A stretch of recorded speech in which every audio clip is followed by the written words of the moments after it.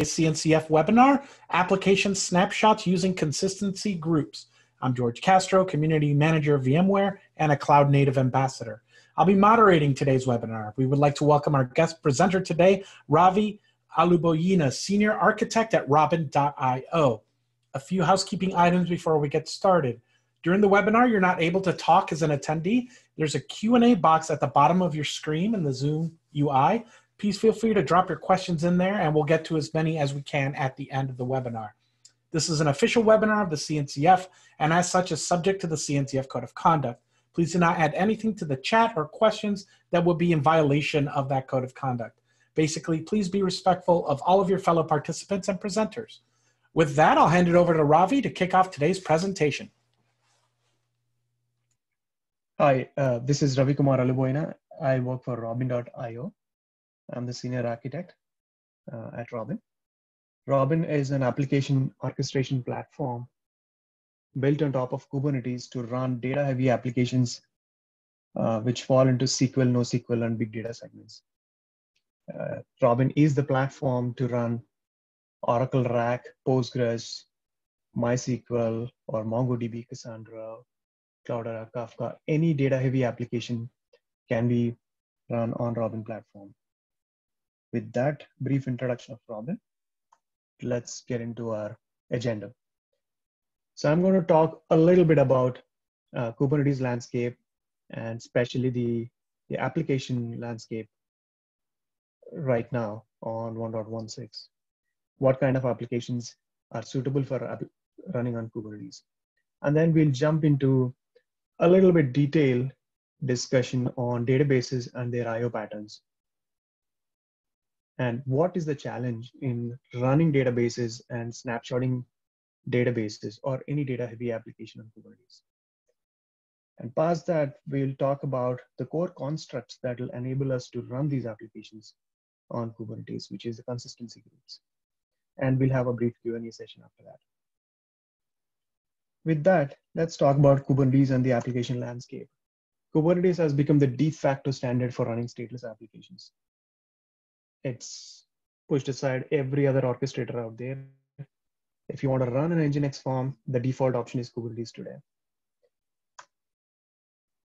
And all of these applications, be it Node.js or Java or Nginx, WordPress, all of these applications roughly qualified as web applications. Now, the second segment of applications are the databases which could be Oracle, MySQL, Postgres, or MariaDB databases. These are traditional SQL databases. The following segment is distributed application stores, which could be document stores like MongoDB or key value pair stores like Cassandra or Influx, Prometheus, Redis. All of these are distributed in nature. These are modern day distributed uh, data stores. And to the far right is our heavy hitters. These are our big data applications, which could be Hadoop stacks or Elasticsearch or Splunk or big uh, OLAP application stacks, analytical processing stacks. That's a big data stack. So this is a classification from the application side. But if you're building a platform, if you're a Kubernetes orchestrator, there is a different division. So we call them stateless applications. We call all of these stateful applications. What we are going to dive into is deploying and orchestrating stateful applications, especially taking snapshots. So with that classification, let's get a little bit deeper into databases, which is SQL database and NoSQL databases. And let's inspect what is it that makes deploying and managing databases very challenging in the Kubernetes landscape? Let's go briefly over these two segments of uh, SQL databases and NoSQL databases. Some of the attributes of SQL databases are primarily ACID compliance, uh, and these are monolithic architectures, uh, primarily because these are built like decades ago, where bare metal is the predominant platform where this, these applications were deployed. And these are row-oriented databases. their primary workload is transactional workload, and they have a standardized SQL interface. It's a very, very well-known data store. Whereas the NoSQL databases have made some compromises to address certain workloads. There is a tunable consistency. There is tunable durability guarantees. These are scale-out architectures uh, to leverage to leverage commodity hardware. And like I said, they target different workloads. Some of them target key values, key value pairs. Some of them are document data stores. And they serve both OL, OLAP and OLTP. They serve both transactional load as well as analytical load. And they have non-standard client interfaces. Uh, some of them do give out SQL semantics, but they have non-standard client interfaces like SQL or MongoDB client or Redis client. So this is a very, very high level overview on the distinction between SQL and NoSQL databases. So this is important in understanding or designing the primitives that will enable us to run these applications on Kubernetes. Let's talk about the standard database deployment models. So this is our Postgres application. Assume that it is running in a container. We are talking about Kubernetes here. So what is required for running Postgres on Kubernetes? Obviously, you'll need a data volume, which is provisioned through a CSI, and that is coming from a storage stack. Let's call it data volume. The question now is, is this enough? In a test environment, maybe yes, but in a production environment, no because the recommendation of Postgres or for that matter, any database is that you put the WAL write ahead log or redo logs or undo logs in a different disk. So naturally we'll go and ask Kubernetes CSI to provision another volume. So this forms our Postgres application, a container and two volumes. When we talk about applications like Cassandra, which are distributed in nature, which fall into the other segment of NoSQL databases. It follows the same pattern. It's not enough to just provision a data volume. So we have a commit log here, which mandates a different spindle or a different volume. So these are the recommendations for performance. So if you want better performance, you, you follow these recommendations of having two volumes. And on top of that, Cassandra is a little complicated because it's a distributed architecture. So we have more than one pods running and each pod consuming more than one volume of different IO patterns. Of course, this is a consistent hashing scheme for Cassandra. So what we have established here is on a standard SQL database, it's not just a container and storage. There is more to it. So you really have to understand what the application is doing and allocate storage accordingly. There is a data volume and there's a WAL, write ahead log. When it comes to Cassandra, it's even more complicated because there are multiple containers in play and multiple volumes in play. So with this understanding, let's see the actual transaction flow. What happens when a user issues a SQL statement? Assume that this is the data volume. So which is where the actual final data resides, which is one volume. And this is the WAL. This is the write ahead log volume. These are two separate volumes coming from two different, let's say disks. Now let's say user were to issue a SQL statement. A SQL statement could be auto commit or it could be a series of statements with a start transaction and a commit and a rollback at the end. Transactions start a bunch of statements and a commit makes one set. Let's say there's a start transaction. Usually what happens in majority of the databases is there is a start transaction entry written in the WAL file. Let's say there was some data changes, which is an insert query or an update query. A block gets added. Whatever data whatever change set is applied through the SQL statement is written into the transaction log. Let's say, for example, there is an update on a key x, we are changing the value to 20. So that x equal to 20 is written in the bar. Not exactly in that format, but roughly. The idea is to capture the changes in the transaction log. And we make more, more changes to the, to the database, and then we do a commit here. So commit will be written as a marker entry in the WAL. So what we have now is a start transaction, a set of changes, and a commit report at some point, database processes will come in and do some sort of compaction.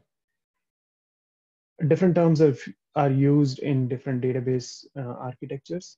Essentially, what it means is we take all the changes and apply to the actual data blocks, which means we are writing the IOs. We're taking the IOs from one volume, compacting them, and writing to a different volume. That's, that is where the value x equals 20 is applied to a data block. So this is the standard flow in a, in a SQL database. In a NoSQL database, it's slightly more challenging because uh, there's a star for the transaction because they, some of the NoSQL databases or distributed databases do not offer transactional semantics. Uh, they offer pseudo transactional semantics. Same thing applies. There's a transaction the primary records it in its commit log, and the commit logs are transferred uh, to the secondary sources or the replicas. The replicas are registered these changes, and then when there's a commit, there's a flush that happens. Almost a similar behavior.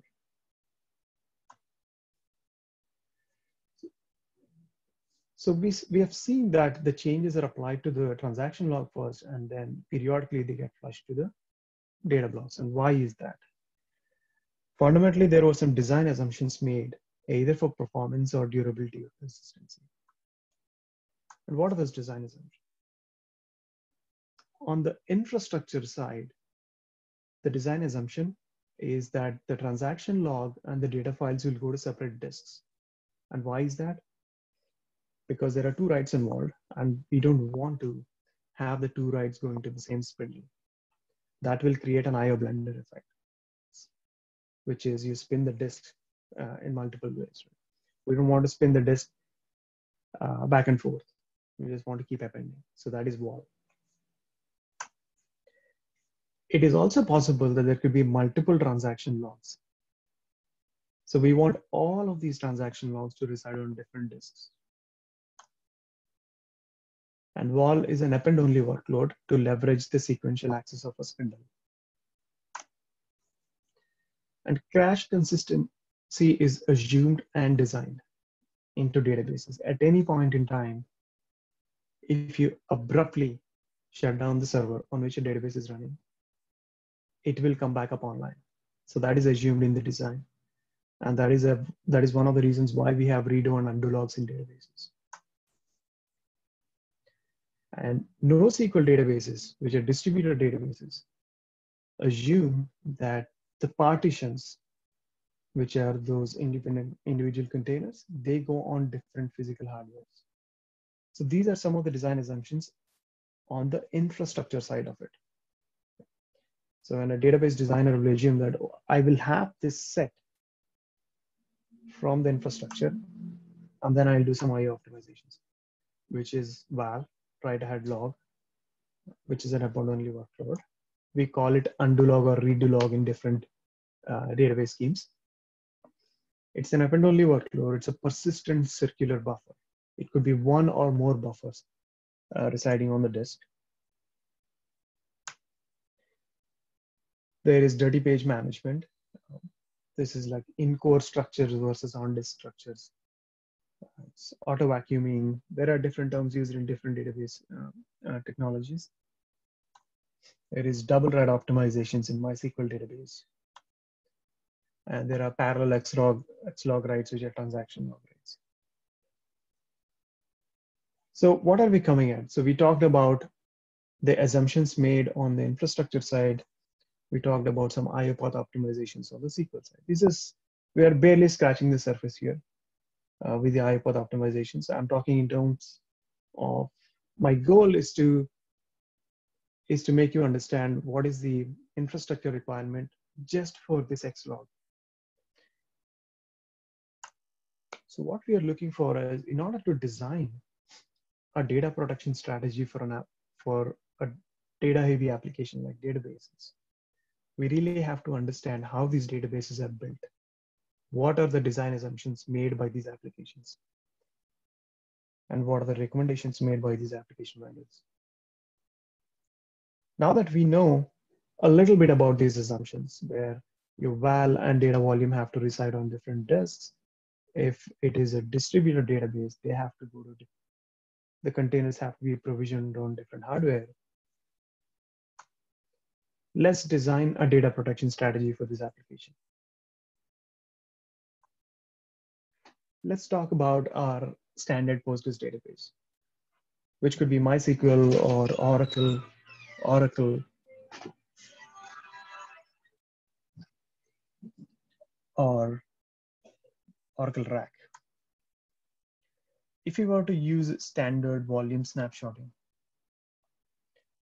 by that I mean we could using we could be using SAN-LUNs for this data or data volume or the transaction log, or we could be using plain uh, LVM based volumes for data and transaction log.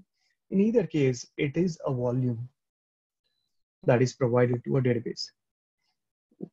And all of these volume management options, be it SAN or LVM, they have some sort of snapshotting capabilities.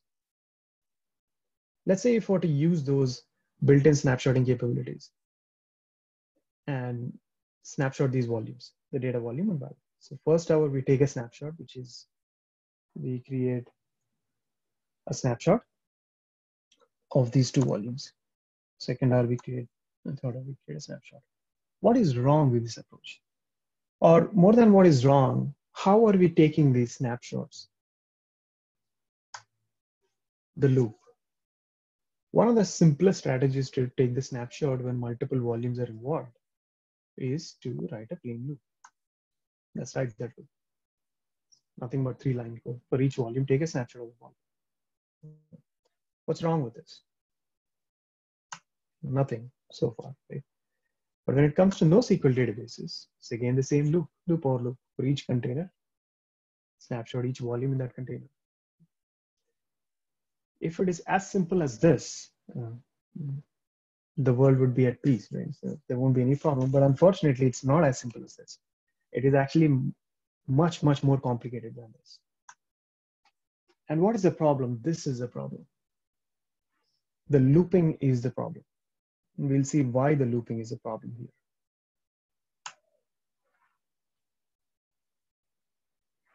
So we have these two database volumes, which are our data volume and a transaction log.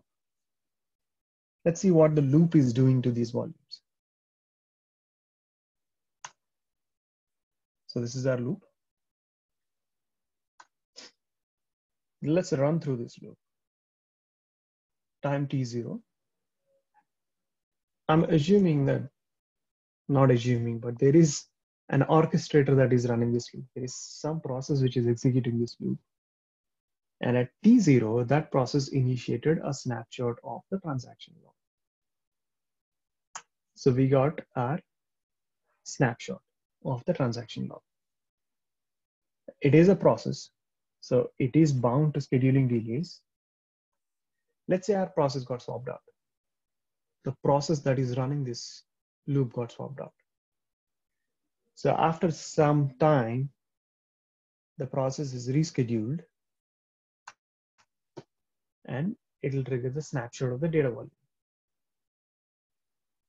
We got a second snapshot of the snapshot of the data volume. Depending on how the loop is implemented, it could be other way as well. We take the snapshot of the data and the process gets scheduled out and we go and take the snapshot of the uh, write ahead log. Anything is possible. I'm just giving you an example of a standard database, but imagine a Cassandra application with 50 partitions, which will translate to maybe 100 volumes. And if you follow the strategy of for each container, for each volume snapshot, you could be getting snapshots of these volumes at different points in time. The question we should be asking now is it is inevitable that you get snapshots of these volumes at different points in time. You could argue that the delay is in milliseconds or microseconds, but it is inevitable that you get snapshots of these individual volumes at different points in time. The big question now is, are they consistent? Let's keep that question in mind. Let's go ahead and see what the problem is. So this is our timeline. Somebody runs a commit. It's they started a transaction, issued a bunch of updates, and there's a commit statement. So this is how, right after issuing the commit, this is how our write ahead log will look like, and this is how the data blocks will look like. X equals 20 is written to the transaction log, and a commit entry is written to the transaction log. There's nothing written so far to the data blocks because that is a periodic thread. It depends on a cadence or a trigger in the database logic that will come in, take the entries in the transaction log, compact them, and write to the data blocks. That hasn't happened yet in our time sequencing. Now let's say we start the snapshot here at that point. How are we taking the snapshot? Our for loop is at work here the loop comes in and tries to take a snapshot. Note that it's a loop. Let's assume that it picked up the data volume and took a snapshot. So that, that's a snapshot of our data volume. Now we have scheduling delays. But while our snapshotting loop is out, so we have database flush at work, which is the database process that is coming in and compacting the entries here. And that database flush did a transaction flush, which means it read all the entries from the transaction log and applied it to the data blocks. Now, if you see the picture here, the x equals to 20 is uh, in the data volume. It's no longer present in the transaction log because the transaction log or the WAL files are circular buffers, persistent circular buffers, which means the blocks are reused. So you just flush the entries from the transaction log. Now we, now our orchestrator comes in, the snapshot orchestrator, and it's trying to finish the snapshot, which means it'll reschedule the loop. In the loop, the next volume is a transaction log, and we take a snapshot of the transaction log. So that this, the picture that you see on the far right is our final snapshot. What's wrong with this snapshot here? The snapshot here has no entries. Where is our x equals 20 in this snapshot? It's gone. So that is the problem with our snapshot. Let's say if you were to restore from this snapshot, so we get this picture. So you can clearly see the difference here. We ran a snapshot. The snapshot was triggered after we issued a commit. With the ACID guarantees of the database, x equals 20 should be present in the database in the in the snapshot but unfortunately we don't have it so there is a race between the for loop and the DB flush. There are two processes which are racing here. And that will cause uh, an invalid snapshot to be created. This is a big, big problem. And this is where our consistency groups come in. The core reason why this is happening is because we are treating these two volumes as two different entities and taking snapshots of, of these individual volumes. And this is a real problem in database snapshots. This is actually a data loss scenario. What are consistency groups? So consistency groups are groups of volumes that function as a unit for the application, which is our transaction log and database file. And this is a group on which the lifecycle operations work. It is snapshot, creating or extending volumes. And group that maintains the write order. So we write a transaction log and then the writes make to data volume.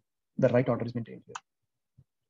And the group that preserves a crash consistency semantics because there is an assumption that the transaction log is written first and the writes are taken and written to data volumes.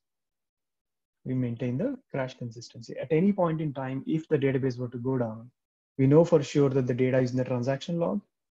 It could be undone or redone based on whether the transaction is committed or not committed and whether we follow a redirect and write approach or copy and write approach. Let's design a better data protection strategy. Now, now that we know about the consistency groups, let's design a better data protection strategy. Let's combine these volumes and call it a consistency group. So we take a snapshot again on the first hour, we get a consistent snapshot of these two volumes. Same goes for the repeated snapshots that you take. So this will solve the problem of consist consistent snapshots. But is there anything more that we can do? So we can do more. Oh, before that, more. What is the problem in the current case uh, at K8s or Kubernetes CSI stacks? It only operates at a single volume level. The volume consistency group concept is being worked on. For right now, there is only single volume level uh, interfaces. I was talking about, is there anything that we can do more? Yes, there is something that we can do more. But before that, I want to explain uh, something else, which is database is not just a data file or a data volume and a transaction volume. It has configuration as well. It could be database configuration or it could be some metadata settings most of the database store it in the metadata tables, but there are some databases or some applications, I should say, like Cassandra which store in some configuration files. So there is not just data on well, but there is also configuration. But how do you capture that configuration part of it in a snapshot? The better approach is to actually snapshot everything, the volumes as well as the container, which will capture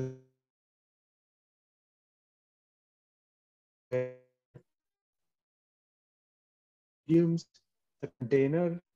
When we say container, we also capture the we also capture the topology of it. If the Cassandra has 50 partitions, we capture the fact that there are 50 partitions in this snapshot. And after the snapshot, if you were to scale out to 100 partitions and move back to 50 to that snapshot, you'll get 50 partitions back. So we capture the configuration, topology, and the data. So that's a much, much better approach to snapshotting than just snapshotting volumes. So the concept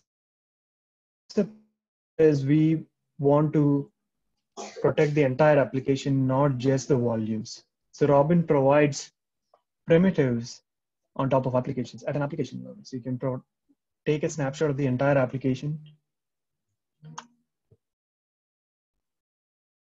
and we protect data config and metadata.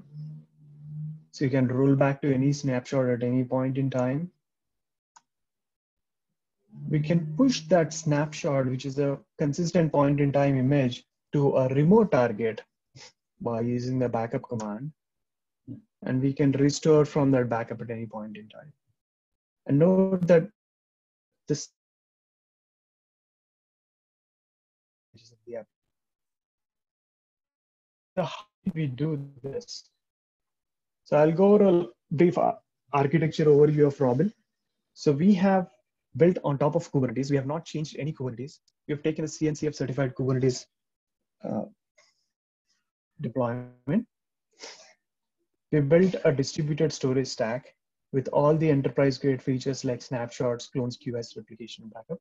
We also have a pluggable networking stack what we realized is for applications like Oracle, we need the container identity persistence, which means the IP address have to be retained.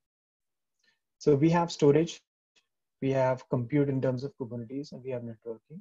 And we built a workflow manager, which will orchestrate the snapshots, clones, which is responsible for the consistency groups, backups, etc. With this package, we can manage the end-to-end lifecycle of these applications. Robin is a software-only platform that can be deployed in any cloud, AWS, Azure, or Google Cloud Platform, or it can be deployed on a bunch of VMs. It could be ESX, or it could be OpenStack VMs, or on bare metal.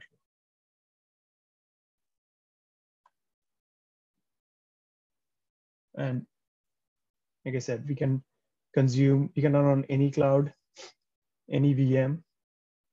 Uh, we can run as a storage only provider on top of any Star KEs, which is Kubernetes engines running in cloud. And with that, you can run any of the distributed applications and we allow for the lifecycle management of these applications. So we have customer deployments of Robin software, allowing customers to run huge uh, data heavy application clusters. We have a deployment where there are 11 billion security events getting ingested into Elasticsearch, Logstash, and Kibana ELK Stack uh, primarily. There is a big multi Hadoop deployment running on single Robin cluster uh, with cl uh, two Cloudera data lakes and two Cloudera compute only clusters with Kafka and Druid. And there is a big deployment of 400 Oracle RAC databases running on Robin cluster today. And if you're interested in the product demos, uh, please go to robin.io and check out how we do snapshots and rollbacks and how can we create clones of these applications out of snapshots. How can we back up to cloud and instantiate an application in cloud. And you can get a free trial from get.robin.io and please also subscribe to our slack channel slack.robin.io and that is robin supercharge Kubernetes to deliver big data and databases and service. Awesome. Thanks, Ravi, for the great presentation. We now have some time for questions. If you have a question that you would like to ask, uh, just drop it in the Q&A tab at the bottom of your screen, and we'll get to as many as we have time for. We have one question so far from Peter, who asks, hello, is Robin ready for Oracle Cloud Infrastructure? So we are working towards it, but as of today, it's not. It's not certified yet.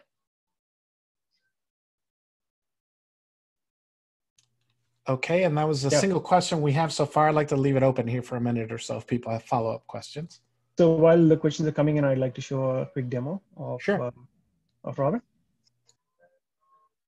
Like I said, Robin is a software platform. Uh, we you get you can install it on a bunch of VMs or uh, hardware. Once you install, you get a dashboard like this, like App Store experience, where you will have all these data-heavy applications yeah, Cassandra, Cloudera, Couchbase, Kafka, Hortonworks here, there's Oracle RAC, EBS So all of these, majority of these applications, 25 to 30 applications are out of the box available as bundles that you can use, which means they show up on your dash dashboard. You can click and deploy them. And I have some applications deployed here. So I have Oracle RAC I have EBS, Cassandra, MySQL, and MongoDB. Let's go to Oracle RAC. So Oracle RAC is an active-active systems, which means there are two containers at play here. And if you can see this, there are lots of volumes here. The same thing that I was trying to explain, that there are multiple data volumes. There are multiple redo volumes. There is Flash, there's Grid, there's Redis volumes although this is a small deployment in terms of size, but I want to show you the, the scale in terms of number of volumes that needs to be managed. So if you have an application like this, and if you want to take a snapshot, imagine the pain in using SAN snapshots or LVM based snapshots. With Robin, the entire application can be deployed as well as managed. By that I mean, you can just say snapshot.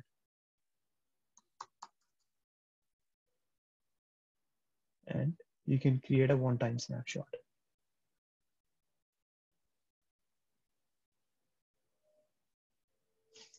And if you have noticed, there is an option to create an application consistent snapshot. What databases give out of the box is a crash consistent snapshot. We can also allow you to plug in hooks where you can freeze the application if you choose to, and then take a snapshot. So now we have an entire application snapshot available for us. So this is a snapshot. Once you have a snapshot, we can create a clone or we can restore to a point in time the entire application will be rolled back to that point in time.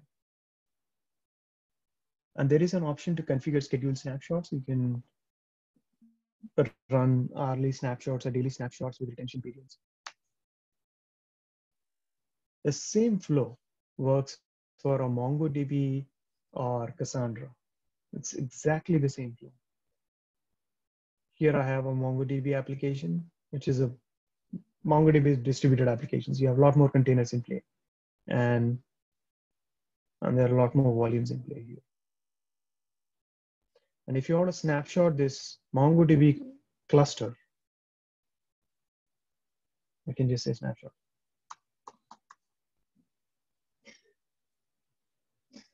So that is the power that Robin brings to the table. So you can not only create applications in a fault tolerant manner, but you can also create application consistent snapshots.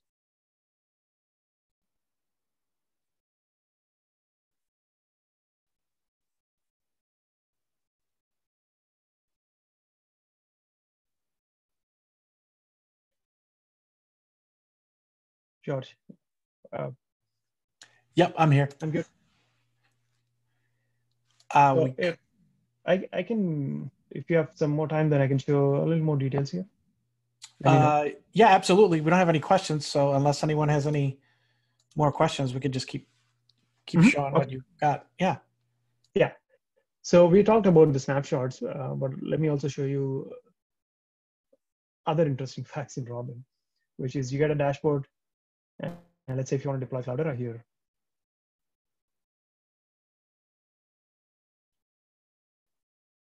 so you can choose what you what role you want to deploy. Say I want Kudu here. Kudu is their uh, Cloudera's OLTP platform, the transactional platform built on top of Hadoop. Uh, not built on top of Hadoop, but it's it's a different engine. So what I want to show here is you can set the sizing for your compute, which means cores and memory. You can also define the storage. You can say I want replicated copies spread across racks. And I can set the block size. I can set compression. I can set packer. This is the layout of the, the data on the disk. I can set encryption. You can also define workload type. This is these settings are more useful when you're defining something like a data node. Uh, I'd say I need three data nodes in a, in a Hadoop cluster. This is my compute capacity. And here I'll probably say the Hadoop are throughput intensive volumes. Yarn local is throughput intensive.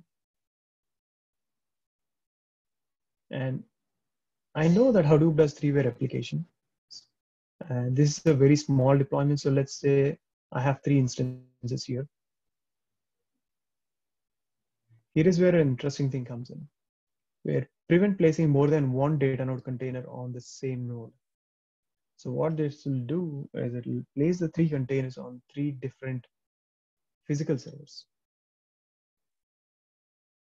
And we can also enforce storage and compute for the return to be coming from the same node.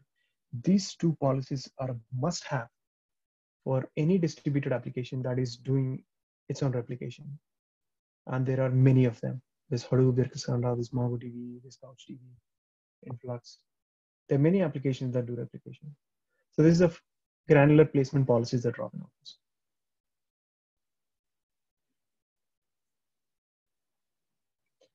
So with that, uh, if there are any more questions, then I, we can take up the questions.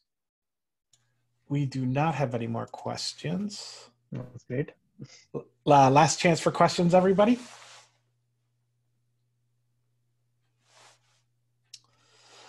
All right, great. Thanks, Ravi, for the presentation. Um, thanks for joining us today, everyone. This webinar recording and slides will be available online later on today, and we look forward to seeing you at a future CNCF webinar. Uh, thank you, everybody, and have a great day. Thank you. Thank you, everyone.